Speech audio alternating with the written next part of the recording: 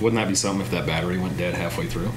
And I'm like, hey, bro, We're about to put card in that computer and we're gonna try it.